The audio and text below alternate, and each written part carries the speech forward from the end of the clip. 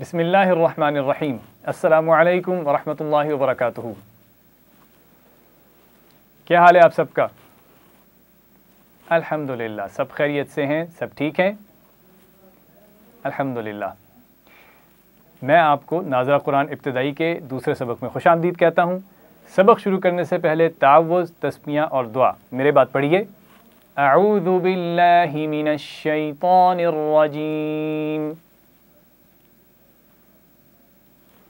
आऊज़ुबिल्लाहिमिनश्शैतानिर्रजीम बिस्मिल्लाहिर्रहमानिर्रहीम रब्बी ज़िदनी इल्मा ए मेरे रब मेरे इल्म में इजाफ़ा फरमा आमीन प्यारे बच्चों, गुज़श्ता सबक में मैंने आपको बताया था कि हमें वो काम करने चाहिए जिससे अल्लाह ताला राज़ी हो, जिनसे अल्लाह ताला खुश हो। और अल्लाह ताला ने हमारी हिदायत के लिए कुरान मजीद को नाजिल किया। तो हमें ये चाहिए कि कुरान मजीद को दुरुस्त तरीके से पढ़ें, उसको समझें, उस पर अमल करें, इससे अल्लाह ताला हमसे खुश होंगे। और कुरान मजीद को दुरुस्त पढ़ने के लिए हम अपनी इस किताब को तवज्जो से पढ़ेंगे, ताकि हम कुरान मजीद को दुरुस्त तलफ़ से अच्छे अंदाज में पढ़ सकें। तो आज का सबक शुरू करेंगे, लेकिन सबक शुरू करने से पहले हम एक नज़म सुनते हैं, हरूफ तहजी की नज़म। मा, मी, मू बा, बी, वा, वी, वू।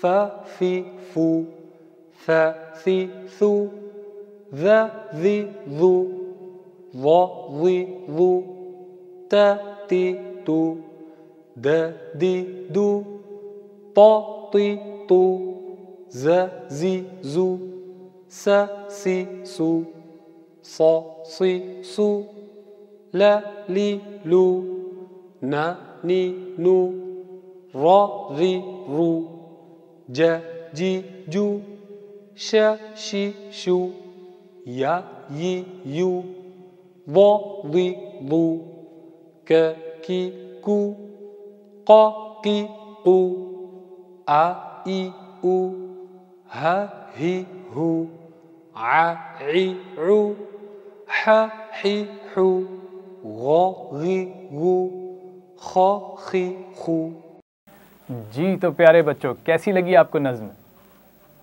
बहुत अच्छी, मज़े की। और उसमें वही तीन आवाज़ें थी जो हमने पहले सबक में सीखी हैं। मा, मी, मू, ज़बर, ज़ेर और पेश। तीनों आवाज़ें थी ना इसमें। तो हम रोज़ाना इस नज़म को सुनेंगे और पढ़ेंगे भी इन क्योंकि इसमें हम हरूफ तहजी की तीन आवाज़ें पढ़ रहे हैं, ज़बर, ज़ेर और पेश के साथ। आपने मीम के सबक में सीखी थी, ज़बर, ज़ेर और पेश, तीनों आवाज़ें सीख ली हैं ना? याद है ना सबको?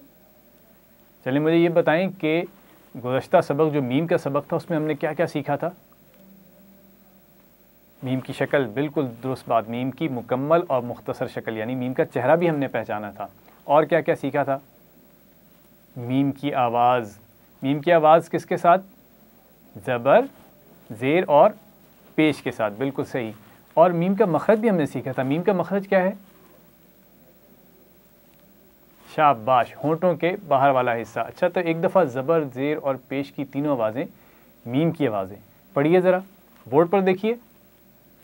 मा, मी, मू। एक दफ़ा फिर पढ़ेंगे। मा, मी, मू। शाबाश। अब हम अगला हर्फ सीखते हैं। बोर्ड पर देखिए गौर से। ये बे नहीं है, बे तो इसे उर्दू में कहते हैं। हमने क्योंकि अरबी में इनके नाम सीखने हैं तो अरबी में इसका नाम है बा। अरबी में इसका क्या नाम है? बा। सब पढ़िए, अरबी में इसका नाम है बा। इस हर्फ का नाम है बा। तो बा की मुकम्मल शक्ल तो आपने देख ली, ये पूरा बा है। उसके नीचे एक नुक्ता। ये ज़रूर याद रखिएगा बा के नीचे एक नुक्ता। अब हमने गुज्त सबक में ये जाना था कि हर्फ की पहचान तीन तरीक़ों से होती है। वो कौन कौन सी तीन बातें थीं? शक्ल वेरी गुड नाम और तीसरी चीज़, आवाज़, शाबाश। तो शक्ल में हमने दो बातें सीखी थी, एक पूरी शक्ल और दूसरी चेहरा फेस हर्फ का चेहरा। आइए बा का चेहरा तलाश करते हैं। बोर्ड पर गौर से देखिए। तो क्या ये, जैसे हमने मीम के शुरू का हिस्सा लिया था तो क्या बा का शुरू का हिस्सा बा का चेहरा हो सकता है? अगर इसके नीचे एक नुक्ता लगा दिया जाए तो ये बन जाएगा बा का चेहरा। क्योंकि बा की पहचान है ना बा के नीचे एक नुक्ता। तो ये बा का शुरू का हिस्सा लें और उसके नीचे एक नुक्ता लगाएँ, ये हो गया बा का चेहरा। तो इसको गौर से देखिए। जहन में बिठाइए कि बा के नीचे एक नुक्ता। बा का शुरू का हिस्सा और उसके नीचे एक नुक्ता। ये है बा का चेहरा। अल्हम्दुलिल्लाह, हमने हर्फ बा की मुकम्मल शक्ल भी देख ली, पहचान ली और हर्फ बा का चेहरा भी तलाश कर लिया। अब आप बा का सबक अपनी किताब में से खोलिए और देखिए कि बा की मुकम्मल शक्ल और मुख्तसर शक्ल कहाँ पर बनी हुई है, यानी बा का नाम। बिल्कुल सही पहचाना। सबसे ऊपर लिखा हुआ है बड़ा सा। बा की मुकम्मल शक्ल। तो इस पर उंगली रखिए और बा का नाम ज़ोर से पुकारेंगे सब। बा। एक दफ़ा फिर इस पर उंगली रखें और बा का नाम बोलें बा। इसके सामने ही बा का चेहरा बना हुआ है, इस पर भी उंगली रखें और हर्फ बा का नाम पढ़ें बा। शाबाश। अब बारी बारी मुकम्मल शक्ल और मुख्तसर शक्ल पे उंगली रखते हुए बा का नाम बोलेंगे बा। बा तो हर्फ बा का चेहरा आपने पहचाना जब हर्फ बा शुरू में आ रहा हो। गौर से देखिए इस शक्ल को ज़रा बोर्ड पर। बा के नीचे एक नुक्ता और अब हर्फ बा किसी लफ्ज़ के दरमियान में है, इसलिए दोनों तरफ़ मिल रहा है, लेकिन दरमियान में बा का एक नुक्ता हमें नज़र आ रहा है ना, नीचे एक नुक्ता। तो ये भी बा है। और अगर हर्फ बा किसी लफ्ज़ के आखिर में आ रहा हो तो मुकम्मल शक्ल में नज़र आएगा, बहुत ही आसान है। तो ये भी हर्फ बा है। जी तो प्यारे बच्चों, हमने हर्फ बा की मुकम्मल शक्ल और मुख्तसर शक्ल की पहचान कर ली और हर्फ बा का नाम भी सीख लिया। अब ज़रा बोर्ड पर देखिए गौर से, ये क्या लिखा हुआ है?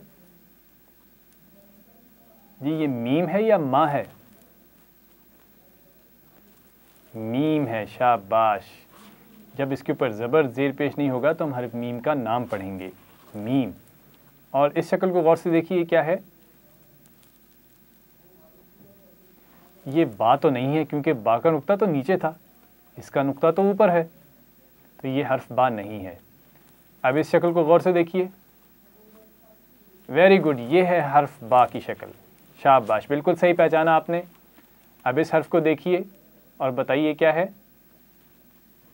बहुत ही आसान है हर्फ बा की मुकम्मल शक्ल है। तो इसका नाम पढ़िए एक दफ़ा। बा। अल्हम्दुलिल्लाह, हमने हर्फ बा की मुकम्मल शक्ल, मुख्तसर शक्ल और उसके नाम की पहचान कर ली है। आपका होमवर्क भी यही है कि आपने घर जाकर दोबारा से हर्फ बा की शक्ल, मुकम्मल और मुख्तसर शक्ल दोनों को देखते हुए हर्फ बा के नाम की मश्क करनी है। यहाँ पे हमारा आज का सबक मुकम्मल हुआ। सबक का अख्ताम दुआ से करेंगे, मेरे बात पढ़िए। सुबहान वबिहमदिही सुबहानक वबिहमदिक इलाहा इल्ला अंत अस्तगफिरुका व अतूबु वरहमतुल्लाहि वबरकातुहू बिस्मिल्लाहिर्रहमानिर्रहीम अस्सलामु अलैकुम वरहमतुल्लाहि वबरकातुहू कैसे हैं प्यारे बच्चों आप सब? अल्हम्दुलिल्लाह। सबक शुरू करने से पहले तावुज़, तस्मिया और दुआ पढ़ेंगे। मेरे बात पढ़िए। अऊदु बिल्लाहि मिनश शैतानिर बिस्मिल्लाहिर रहमानिर रहीम रब्बि ज़िदनी इल्मा ए मेरे रब मेरे इल्म में इजाफ़ा फरमा आमीन हम कुरान मजीद को दुरुस्त तलफ़ से सही तरीके से पढ़ने के लिए अपनी किताब नाजा कुरान इब्तदाई से रोज़ाना एक सबक पढ़ते हैं और इन आज भी पढ़ेंगे, लेकिन सबक शुरू करने से पहले हम क्या करेंगे? एक नज़म सुनेंगे और उसके साथ पढ़ने की कोशिश भी करेंगे। आइए नज़म सुनते हैं। मा, मी, मू, बा, बी, बू, वा, वी, वू फ फ़ी फू फ सी, सू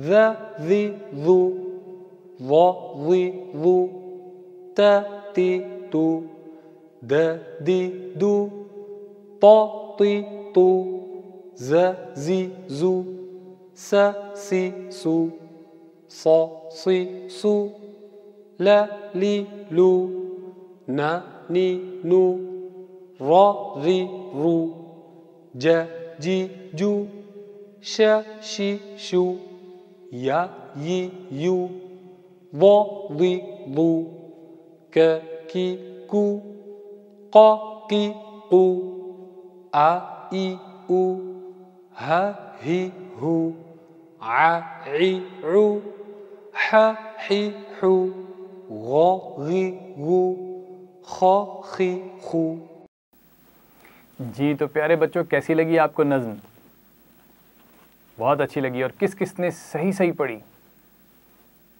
अच्छा सबने बिल्कुल ठीक पढ़ी, माशाल्लाह, बहुत अच्छी बात है। हम रोज़ाना नज़म सुनेंगे और साथ इसको पढ़ेंगे ना तो हम हरूफ तहजी की तीनों आवाज़ें, ज़बर, ज़ेर, पेश वाली आवाज़ें अच्छे तरीके से अदा कर सकेंगे इन तो नज़म हमने रोज़ सुननी है और पढ़नी भी है। आइए, आज का सबक शुरू करते हैं। बोर्ड पर गौर से देखिए और बताइए क्या लिखा है। वेरी गुड, ये है हर्फ बा।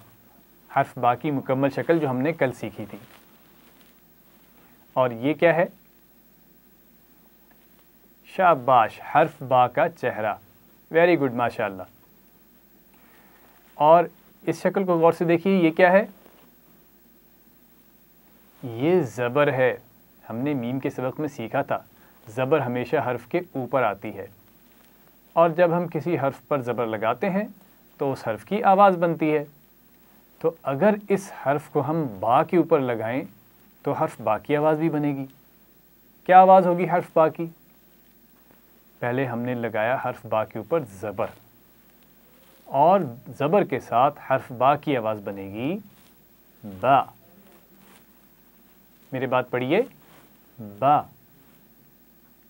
फिर पढ़िए? बा। बा नहीं पढ़ेंगे, लंबा नहीं करेंगे, वो तो हर्फ बा का नाम बन जाएगा। एक दफ़ा फिर पढ़िए, बा। बहुत जल्दी से नहीं पढ़ना, बा नहीं पढ़ना। आराम से पढ़ेंगे, बा। ज़बर के साथ या ज़ेर और पेश के साथ जब भी हम किसी हर्फ की आवाज़ को अदा करेंगे तो उसको बहुत लंबा भी नहीं करेंगे, जैसे हमने हर्फ मीम में भी सीखा था, माँ। उसको माँ नहीं पढ़ा था। और इसी तरह बहुत जल्दी से भी नहीं पढ़ेंगे। मा, बा, ऐसे भी नहीं पढ़ेंगे। आराम से पढ़ेंगे। मा, बा। तो ज़बर, ज़ेर और पेश के साथ किसी भी हर्फ की आवाज़ अदा करते हुए झटका भी नहीं लगाना, बहुत जल्दी से नहीं पढ़ना और उसको लंबा भी नहीं करना। ठीक है? एक दफ़ा फिर गौर से देखिए। हर्फ बा के ऊपर ज़बर है। हम पढ़ेंगे बा। आपने आवाज़ तो अदा कर ली, लेकिन बा का मखज किसी ने पहचाना? कहाँ से आवाज़ अदा हो रही है हर्फ बा की? जैसे हमने हर्फ मीम का मखरज भी सीखा था तो हर्फ बा का मखरज क्या है? यानी हर्फ बा की आवाज़ कहाँ से अदा हो रही है? बा। गौर से देखिए। बा। वेरी गुड होंठों से। लेकिन हर्फ मीम की आवाज़ होंठों के बाहर वाले हिस्से से अदा हो रही थी। हर्फ बा की आवाज़ होंठों के अंदर की तरफ़ से आती है। बा। ऐसे नहीं करेंगे। बा। फिर पढ़िए। बा तो हर्फ बा का मखरज है होंठों के अंदर वाला हिस्सा। जैसे हर्फ मीम का मखरज था होंठों के बाहर वाला हिस्सा। तो इसको जहन में रखना है। हर्फ बा और मीम का मखरज बहुत करीब करीब है। दोनों ही होंठों से अदा होते हैं, लेकिन हर्फ मीम होंठों के बाहर वाले हिस्से से और हर्फ बा कहाँ से अदा होता है? शाबाश होंठों के अंदर वाले हिस्से से। तो एक दफ़ा फिर मखरज को जहन में रखते हुए हर्फ बा की आवाज़ पढ़ेंगे ज़बर के साथ। बा ये है हर्फ बा का नाम। इसके ऊपर ज़बर नहीं है तो हम क्या पढ़ेंगे? बा यानी हर्फ बा का नाम लेंगे। और ये है हर्फ बा की आवाज़ ज़बर के साथ। तो हम इसको क्या पढ़ेंगे? बा एक दफ़ा फिर। बा बा एक दफ़ा फिर पढ़ेंगे। बा बा अब आपकी बारी है। अब आप देखिए बोर्ड पर क्या लिखा है और पढ़िए। शाबाश। और इसे पढ़िए। प्यारे बच्चों, अब आप किताब में, हर्फ बा के सबक में गौर से देखिए, आपको एक तस्वीर नज़र आ रही है। हाँ जी, प्याज की तस्वीर है, लेकिन अरबी में इसको क्या कहते हैं? मैं इसका नाम पढ़ूँगा। आपने मुझे सुनकर ये बताना है कि हर्फ बा की आवाज़ तो इसमें कहीं सुनाई नहीं दे रही आपको, ठीक है? मैं इसको पढ़ता हूँ, आप देखिए गौर से, और मैं पढ़ूँगा और आपने मुझे बताना है हर्फ बा की आवाज़ कहाँ पर है। ब फलुन ब फलुन ब फलुन जी, हर्फ बा की आवाज़ कहाँ पर सुनाई दे रही है? शुरू में, दरमियान में, आखिर में, कहाँ पर? शाबाश, बिल्कुल सही पहचाना आपने। शुरू में है हर्फ बा की आवाज़। बा। बा सालुन वेरी गुड आपने बिल्कुल सही पहचाना, शाबाश। अब आप किताब पर देखिए, हर्फ बा ज़बर के साथ कहाँ कहाँ लिखा हुआ है, ज़रा तलाश कीजिए। शाबाश, आपने ढूंढ लिया हर्फ बा ज़बर के साथ। तो हर्फ बा की आवाज़ पढ़िए। बा। बा। बा। एक दफ़ा फिर पढ़िए। बा। बा। बा शाबाश अब एक दफ़ा आप खुद पढ़ेंगे।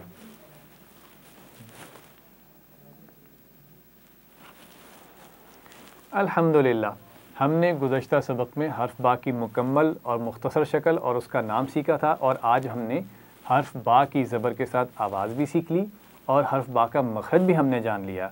हर्फ बा का मखरज है होंठों के अंदर वाला हिस्सा। उसको मिलाकर बा की आवाज़ अदा की जाती है।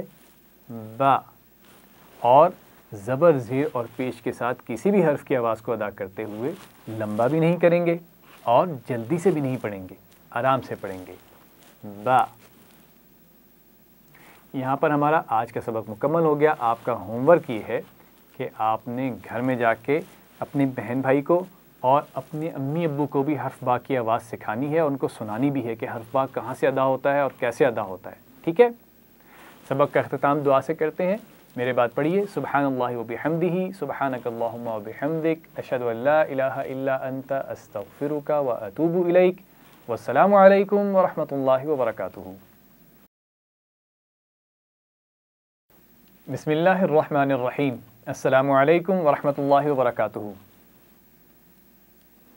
कैसे हैं प्यारे बच्चों आप सब? अल्हम्दुलिल्लाह। आज का सबक शुरू करने से पहले तावुज़ तस्बियाँ और दुआ पढ़ेंगे। मेरे बात दोहराइए। अऊज़ु बिल्लाहि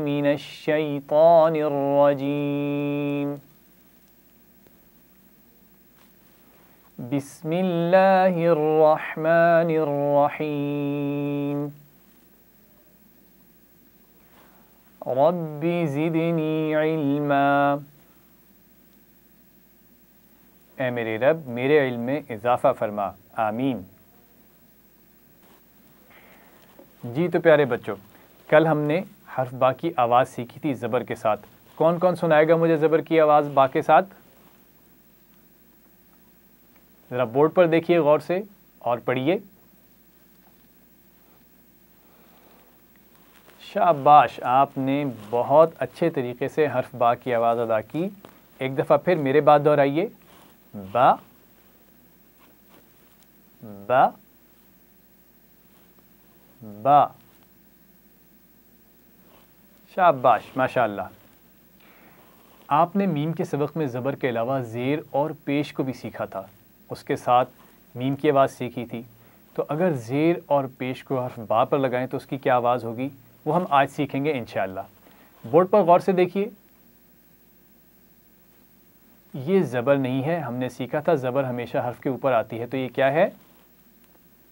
शाबाश, ये ज़ेर है, क्योंकि ज़ेर हमेशा नीचे आती है, हर्फ के नीचे होगी। तो ये दिखने में तो ज़बर जैसी है, लेकिन इसकी पहचान ये है कि ये हर्फ के नीचे आएगी।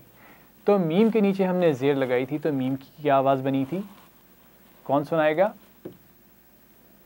शाबाश। मीम की आवाज़ ज़ेर के साथ थी। मी। और मीम की आवाज़ पेश के साथ क्या थी? शाबाश। मुँह पेश के साथ मीम की आवाज़ है मुँह ज़ेर के साथ मी और पेश के साथ मुँह शाबाश। अब हम हर्फ बा के ऊपर पेश भी लगाएँगे और उसके नीचे ज़ेर भी लगाएँगे और ज़ेर और पेश के साथ हर्फ बा की आवाज़ की मश करेंगे। हर्फ मीम की आवाज़ ज़ेर के साथ थी मी। तो हर्फ बा के नीचे ज़ेर लगाएँ तो क्या आवाज़ बनेगी? बी। एक दफ़ा पढ़िए। बा की आवाज़ ज़ेर के साथ है बी। बी नहीं पढ़ेंगे। लंबा नहीं करना आवाज़ को। बी। बा के मखरज का ख्याल रखते हुए ज़ेर के साथ बाकी आवाज़ पढ़िए। बी एक दफ़ा ज़बर के साथ पढ़ेंगे। बा. फिर ज़ेर के साथ बी बा. बी बा. बी बा. बी शाबाश। और अब हर्फ बा पर पेश लगाएँ। तो क्या आवाज़ बनेगी? जैसे मीम के ऊपर पेश लगाया था तो क्या आवाज़ थी मीम की? मुँह और बा पर पेश लगाएँ तो बा की आवाज़ होगी बू। बू। बू। सब मिलकर पढ़िए, बा की आवाज़ पेश के साथ है बू। अल्हम्दुलिल्लाह, हमने हर्फ बा की ज़ेर और पेश के साथ भी आवाज़ सीख ली है। अब हम हर्फ बा की मुख्तसर और मुकम्मल शक्ल के साथ इन आवाज़ों की मश करेंगे। अपनी किताब पर गौर से देखिए, कहाँ पर लिखी हुई है बाकी आवाज़ ज़ेर के साथ। शाबाश, बिल्कुल आपने सही तलाश कर लिया। ज़ेर के साथ इसकी आवाज़ है बी। तो सब पढ़ेंगे। बी। बी। बी। एक दफ़ा फिर पढ़ेंगे। बी। बी। बी। शाबाश। और पेश के साथ भी हरफबा की आवाज़ की मश करेंगे। बू। बू। बू। एक दफ़ा फिर पढ़ेंगे। बू। बू। बू। शाबाश। अब एक दफ़ा हर्फ बा की आवाज़, ज़बर, ज़ेर और पेश तीनों आवाज़ों के साथ पढ़ेंगे। मेरे बात पढ़िए। ब। बी, बू। एक दफ़ा फिर पढ़ेंगे। ब बी, बू। अल्हम्दुलिल्लाह। तो हमने हर्फ बा की मुकम्मल, मुख्तसर शक्ल की पहचान कर ली, हर्फ बा का नाम सीख लिया और ज़बर, ज़ेर और पेश के साथ हर्फ बा की आवाज़ सीख ली है। अब आप बोर्ड पर गौर से इन अल्फाज को देखिए। और इनमें आपको जहाँ भी हर्फ बा की आवाज़ नज़र आ रही है, ज़बर, ज़ेर या पेश के साथ, उस पर सर्कल कीजिए, दायरा लगाइए। शाबाश।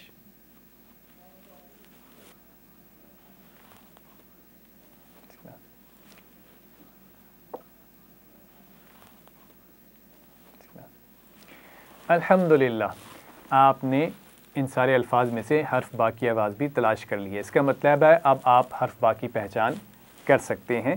ज़बर, ज़ेर और पेश के साथ और उसकी मुकम्मल और मुख्तसर शक्ल भी आपको अच्छी तरह से याद हो गई है। यहाँ पर हमारा आज का सबक मुकम्मल हुआ। सबक का अख्ताम दुआ के साथ करेंगे। मेरे बात पढ़िए। सुबहान अल्लाह वबिहमदिही सुबहानक अल्लाहुम्मा वबिहमदिक इल्ला अंत। व अतूबु इलैक। वस्सलामु अलैकुम वरहमतुल्लाहि वबरकातुहू